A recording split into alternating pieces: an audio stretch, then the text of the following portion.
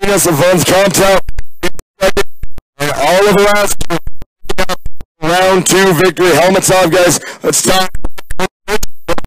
Great run in Dallas last month. Solid run this weekend. You were up front, top three through all the heat races. Tell me about the last race today. Oh, we had good pace. It's just we couldn't keep up with Oliver. Uh, I was trying to work with Rinus, but we just didn't have the speed.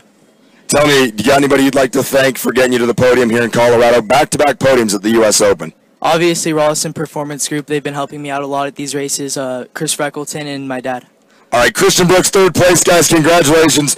Great job there, buddy. Let's run over and talk to Rinus. Great run. Rinus, you had the speed all weekend. You finished uh, second. You had Brooks breathing down your back. Tell me about those last couple of laps. I was a little bit scared because he had a slipstream and it's very important on this track.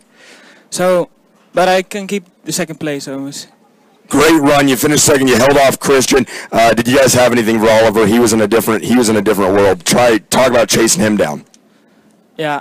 I wanted to to catch with uh, Christian um, to get at Oliver, but it was Oliver was a little bit too fast. So All right, good job. Now, do you have anybody you'd like to thank for helping you get to the podium this weekend? I will thank uh, Kuno Racing, my dad, uh, my coach Henky Walsmith, my mechanic Tara, and Supertune Racing. All right, Rinus, good job in second place, buddy. And now, man, you just kept getting quicker and quicker. You went purple lap after lap. 54.8 is what you ended up with. Incredible laps. Tell me about that whole main event. It's a long race. It is a long race. How how'd you do it? How did you keep getting faster?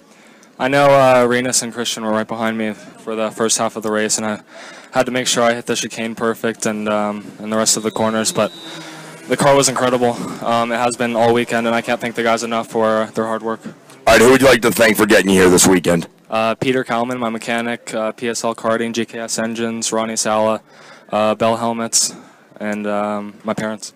Oliver Askew back. Good job, buddy.